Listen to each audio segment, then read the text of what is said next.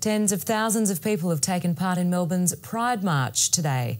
And on its 20th anniversary, the Premier Daniel Andrews became the first Victorian Premier to join in.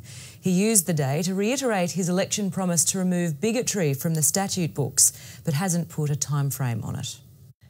Grey skies above, but St Kilda was awash with colour, and right up front was the Premier. It's a huge deal for him coming today, and we're so thrilled to have him here. Didn't vote for him, but I think it's wonderful that he's here. I think it's a wonderful photo opportunity.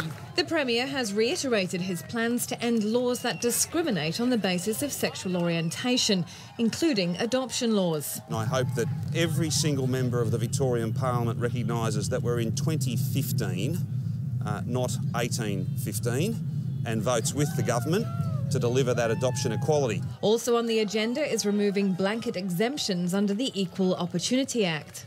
We're all looking for a little bit more equality, aren't we? That's all we want. With the politicians out of the way, it was time for others to shine. Some travelled in style, others chose less salubrious transport, but there was plenty of slap and tickle along the way.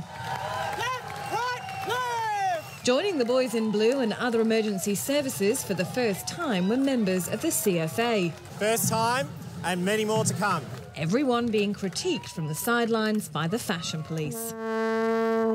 We have been encouraged to dress in colour, but I'm actually seeing a lot of people who haven't.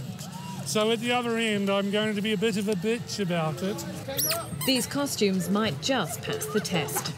Sarah Farnsworth, ABC News, Melbourne.